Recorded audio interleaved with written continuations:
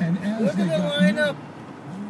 Trying to get on the 400 westbound, uh, 401 westbound. It started way back there. I turned the camera on right at the, right at the end down here. But I'll tell you, the traffic is so congested to try to just get off the 400 onto the 401 west.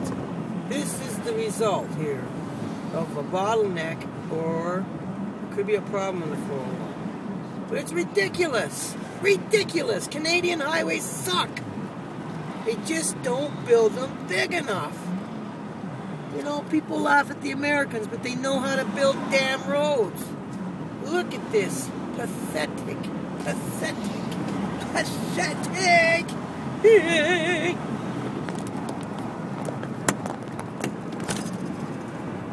There we go. How was it too? Way down there, down there, right? Look, not much down there. A little bit. There's the other way. Uh huh, uh huh. There it is. Uh, uh.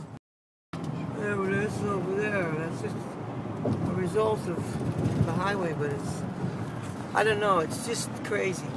The highways suck here in Toronto. I should be quiet because pretty soon mine will be sucking, as you can see.